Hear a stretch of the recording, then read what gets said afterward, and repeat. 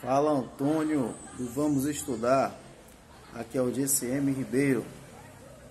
Aprovado no último concurso aqui da Guarda Municipal de Simões Filho.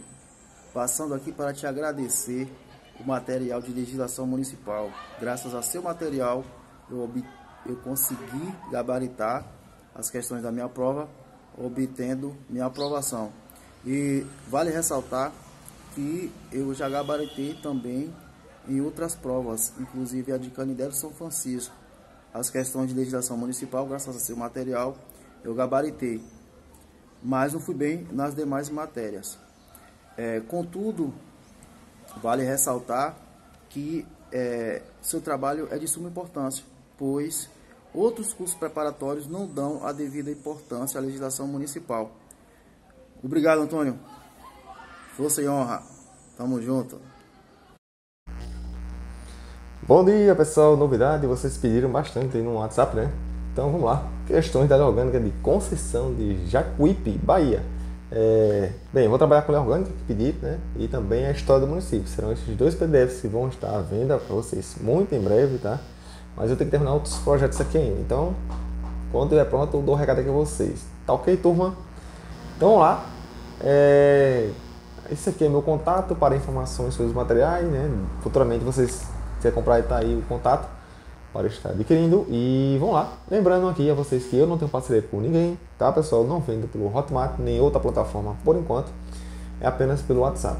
Ok? Sim, vocês falam diretamente comigo, tá? Às vezes com minha esposa, mas 90% das vezes é comigo que vocês falam.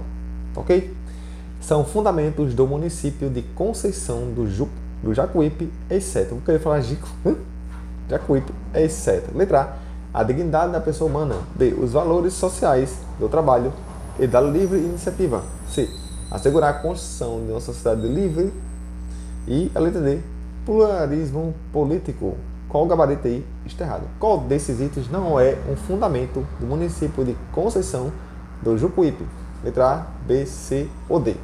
Eu volto aqui em 10 segundos com o gabarito.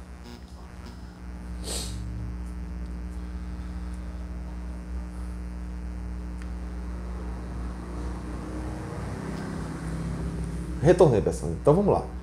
É... O gabarito da questão é a letra C. Pessoal, o gabarito da questão aqui é a letra C. Isso aqui não é um fundamento, mas sim um objetivo tá, do município. O objetivo fundamental, dentre outros, está de assegurar a construção de uma sociedade livre, justa e solidária. Tá? Isso aqui não é um fundamento, mas sim uns objetivos. Tem os fundamentos do município, também tem seus objetivos. E dentre outros, né, tem o objetivo de assegurar a construção de uma sociedade livre, justa e solidária. Gabarito letra C. Pessoal, vamos lá. Questão número 2 diz assim: A emancipação política do município de Conceição do Jacuípe ocorreu em letra A, 10 de outubro de 1961. B. 15 de outubro de 1961, C. 20 de outubro de 1961, ou a letra D. 25 de outubro de 1961.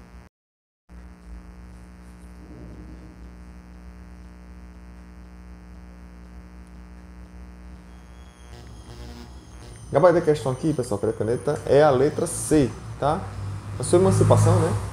Como consta no artigo 4 foi o seguinte: município de Conceição do Jacuípe concede na cidade que ele dá o nome, dotada de autonomia política, administrativa e financeira, lei orgânica. Aí tem aqui, ó. Isso aqui, né, vou atrapalhar vocês. Parágrafo único.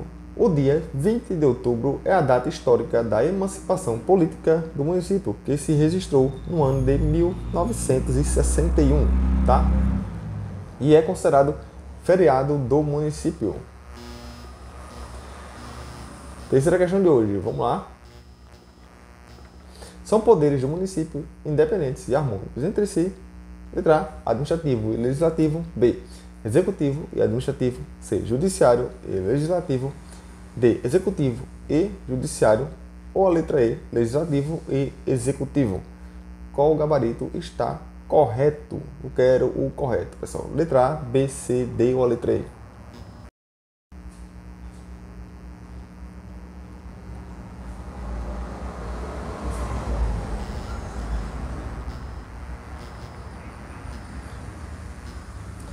Pessoal, então, o aplicativo aqui falhou, tá? De tanto perrengue que aconteceu agora aqui. Celular ligando, falhando aqui. Então, vou ter que usar essa caneta provisória. O gabarito da questão aqui é a letra E, pessoal, tá? São independentes e harmônicos entre si, o legislativo e o executivo, tá? Gabarito aí, artigo 5 na sua tela. São poderes do município independentes e harmônicos entre si, o executivo e o legislativo, tá? A questão número 5. São símbolos do município, sua bandeira, seu hino e o seu brasão. São símbolos do município, sua bandeira, seu hino e seu brasão. Correto ou errado?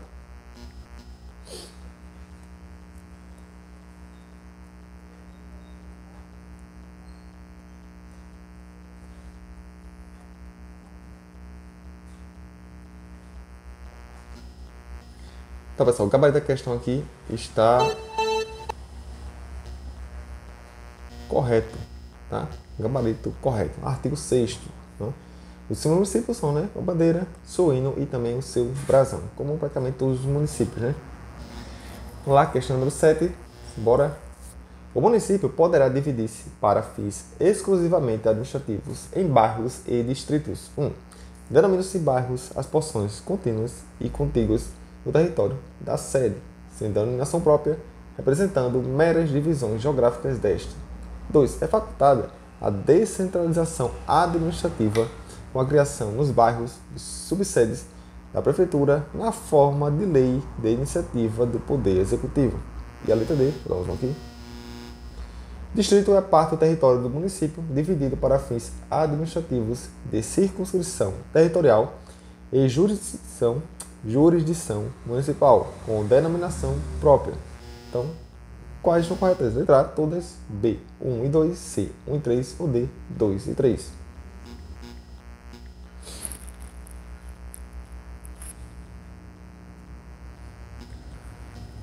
Então, pessoal, finalizando a matéria de hoje, gabarito da questão é a letra D, tá?